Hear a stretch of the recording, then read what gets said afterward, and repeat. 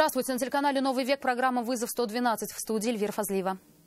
И сегодня мы расскажем о гибели 21-летней девушки под колесами иномарки на проспекте Победы. Сразу к ней прибежала. В моих руках она умерла. Дело о гибели глухой женщины-дворника под колесами мусоровоза закрыто. Почему? Спустя 7 месяцев после вердикта вступил в силу приговор в отношении банды Урматского. Это и не только. Прямо сейчас. 21-летняя девушка погибла сегодня под колесами иномарки на перекрестке проспекта Победы и улицы Губкина. По словам очевидцев, она стояла у края проезжей части и шагнула на зебру, когда ей загорелся зеленый свет. Через мгновение ее сбил Hyundai Solaris, завершавший проезд перекрестка. Нафиса Минязова продолжит. Сразу к ней прибежала. В моих руках она умерла. Со слезами на глазах автоледи рассказывает, как несколько минут назад молодая девушка умирала прямо на ее руках. Она на «Ладе» 13 модели ехала практически параллельно с «Хендаем». Когда иномарка сбила пешехода, рассказывает, сильно испугалась, дернула руль и врезалась в забор. Говорит, выехали на перекресток улицы Губкина и проспекта Победы на завершающий мигать зеленый сигнал светофора. Но в следующую секунду сигнал переключился, и зеленый загорелся пешеходом. Девушка в этот момент шагнула на проезжую часть. То, что ступила на зебру она неожиданно, говорит и водитель «Хендая». Она с плеером где-то была, плеер у него шаг был. Даже я где-то как шел на зеленый поток, поток идет, как быстро что-то я не среагировал даже. Камера видеонаблюдения одного из близлежащих магазинов зафиксировала момент наезда иномарки на девушку. Остановиться, признается водитель, просто не успел. Да и на тормоз, говорит, нажимать было уже поздно. Девушка мгновенно оказалась на капоте его автомобиля, который протащил пострадавшую еще несколько метров, после чего она рухнула на землю. Умерла не сразу. Ждали скорую. Приехала одна скорая по пути, которая врачи прибежали. Она живая была еще. Вот оттуда от врачи. Потом скорая по дороге ехала одна. Она еще живая была. Пусть был у нее. Потом вот другая скорая приехала, все как уже это. Медикам оставалось лишь констатировать смерть девушки. 62-летний водитель автомобиля Hyundai Solaris после произошедшего начал чувствовать себя плохо, однако врачи запретили ему пить обезболивающие лекарства, поскольку они могли бы влиять на показания алкотестера. Впрочем, помимо медосвидетельствования, мужчину ждут еще много проверок. В ходе административного расследования были изъяты видеозаписи с видеокамер э, фасада здания по улице Проспект Победы при изучении которых будет установлено, кто какими правилами дорожного движения должен был выполнять. Степень виновности водителя будет известна по окончанию административного расследования. Личность погибшей уже установлена. Девушке 21 год. Вероятнее всего, по окончанию административного расследования в отношении водителя будет возбуждено уголовное дело. Нафиса Минязова, Азат. Вызов 112. Двое детей погибли после столкновения легковушки с грузовиком. Трагедия произошла в Буинском районе. По предварительной информации, водитель автомобиля Nissan Кашкай выехал на встречную полосу, где лоб в лоб столкнулся с большегрузом марки МАН. Четверых пассажиров и водителя кроссовера в тяжелом состоянии доставили в больницу. Дети 6 и 7 лет от полученных травм скончались. Не захотел стоять лишние секунды на перекрестке, а потерял в итоге гораздо больше. Водитель Киерию, по рассказам очевидцев, спровоцировал серьезную аварию с автобусом на перекрестке улиц Пушкина и Салимжанова. После столкновения с общественным транспортом легковушка отлетела и пробила металлические ограждения. Обо всем по порядку в материале Алии Хайрудиновой. Разбитое стекло и пару царапин. Вот и все повреждения у автобуса. Многотонник после включения разрешающего сигнала светофора на перекрестке только успел тронуться, и скорость была совсем небольшая. Удар произошел через секунды. Ни водитель автобуса, ни пассажиры не пострадали. Автобус и пассажиры все нормально, говорит. Там, по-моему, пустой был. Но никто не пострадал. В какой-то степени повезло и владельцу легковушки. Несмотря на то, что удар пришелся на водительскую сторону, автомобилист отделался лишь порезом руки. Его машину после удара отбросило на металлические ограждения. Получается, на моргающий знак выехал оттуда. После Джана автобус остановил. Автобус не По его, с его слов получается, как бы он на, на момент выезда, получается, уже красный загорелся. Кому? В машине водитель. А, то есть автобус говорит, что ему красный был. А это... Да, получается, автобус прав.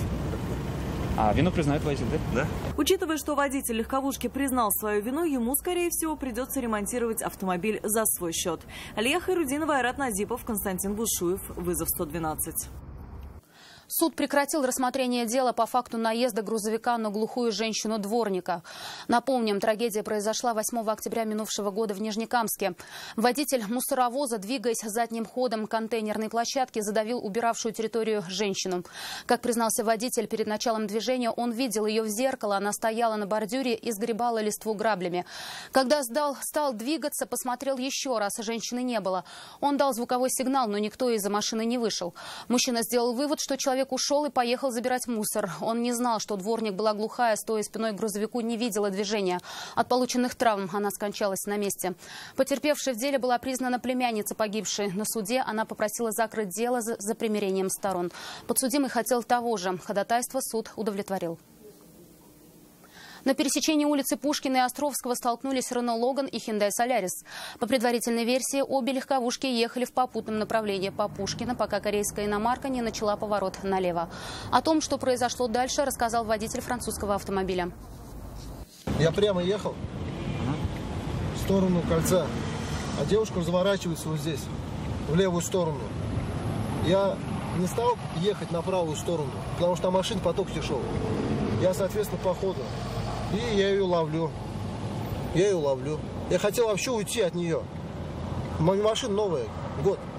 Я сейчас буду что, из-за этой машины портить, что ли? А никто не признает вину вас? Она не признает. Я, а я как если я прав я. Приговор в отношении участников банды Урматского вступил в законную силу. Напомним, они держали в страхе владельцев ломбардов, букмекерских контор и ювелирных мастерских с 2008 года. Налеты совершали не только в Казани. При совершении преступлений члены банды тщательно все планировали. Именно поэтому их долго не могли вычислить. При ограблениях не гнушались применить физическую силу против беззащитных сотрудников и огнестрельное оружие.